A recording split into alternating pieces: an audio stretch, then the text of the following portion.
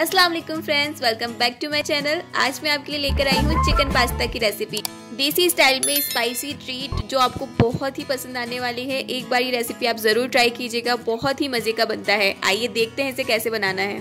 Chicken pasta बनाने के लिए हम कुछ मेन इंग्रेडिएंट्स लेंगे। हमने यहाँ 250 ग्राम पास्ता लिया है। 250 ग्राम बोनलेस चिकन लेंगे। उसे हमने कुछ इस तरह छोटे छोटे पीसेस में कट कर लिया है। एक शिमला मिर्च को हमने बारीक स्लाइसेस में कट किया है लंबे लंबे पीसेस में। एक बड़ा टमाटर लिया है, उसे भी हमने बड़े बड़े पीसेस में कट किया है। सात से आठ लहसुन की क्लॉव्स लेंगे, उसे भी बारीक पीसेस में कट कर लिया है।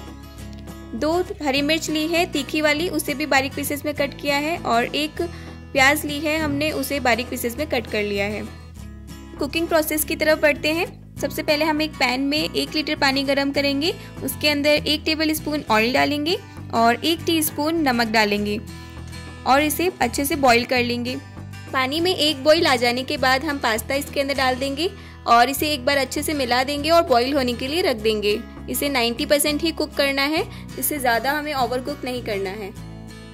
जब तक पास्ता बॉईल होता है, हम चिकन मसाला रेडी कर लेते हैं। उसके लिए हम एक पैन में ऑयल गरम करेंगे और उसमें चॉप्ड गार्लिक ऐड कर देंगे। इसके हल्के ब्राउन हो जाने के बाद में हम इसके अंदर हरी मिर्ची ऐड कर देंगे और इसे सौते करेंगे। कुछ सेकंड सौते करने के बाद हम इसके अंदर प्याज ऐड कर देंगे। प्याज को हमें ट्रांसल्यूसेंट ही रखना है, ज़्यादा ब्राउन नहीं करना है।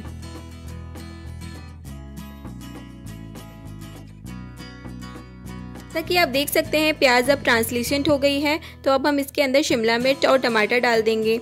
इसको कुछ सेकंड्स के लिए सौते करने के बाद में हम इसके अंदर चिकन ऐड कर देंगे। चिकन हमने इसके अंदर ऐड कर दिया है। अब इसे तब तक फ्राई करेंगे जब तक इसका हल्का सा कलर चेंज नहीं हो जाता है।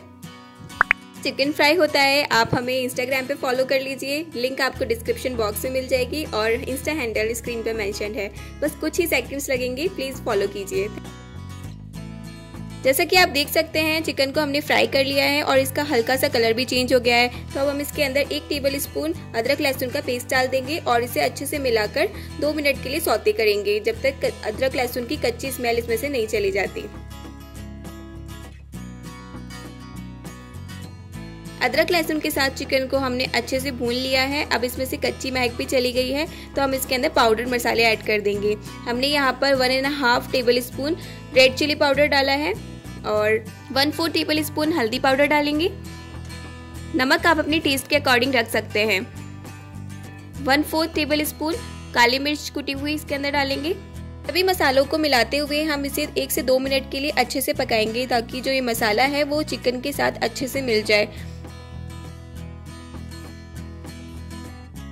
अब हम इसमें थोड़ा सा पानी ऐड करेंगे और चिकन को गलने के लिए रख देंगे। हम इसे ढककर पकाएँगे लो फ्लेम पर। तब तक पकाना है जब तक चिकन अच्छे से नहीं गल जाता। पास्ता बॉईल हो चुका है, अब हम इसे स्ट्रेन कर लेते हैं। स्ट्रेन करने के बाद आप इसके ऊपर थोड़ा सा ठंडा पानी डाल दीजिए, उससे ये आपस में चिपकेगा नहीं। यहाँ चिकन भी अच्छे से गल चुका है तो अब हम इसके अंदर एक table spoon tomato sauce add कर देंगे और इसे अच्छे से मिला लेंगे। अब यहाँ हम फ्लेवर के लिए एक टेबल स्पून ऑरिगेनो इसमें ऐड कर देंगे। अगर आपके पास अवेलेबल नहीं है तो आप ये स्टेप स्किप कर सकते हैं। अब हमारा चिकन मसाला बनकर बिल्कुल रेडी है तो हम इसके अंदर पास्ता डाल देंगे और इसे मसाले के साथ में अच्छे से मिला लेंगे।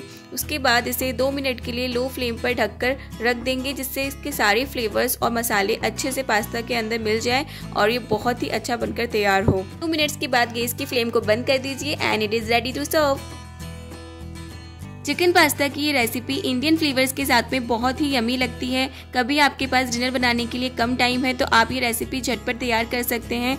आपके बच्चों को ये रेसिपी बहुत पसंद आएगी। अगर आपको ये रेसिपी पसंद आती है तो आप इसके रिव्यूज़ हमारे साथ शेयर करना ना भूलें। और हमारी वीडियो को लाइक कीजिए शेयर कीजिए और हमारे चैनल को सब्सक्राइब करना ना भूलें। Thank you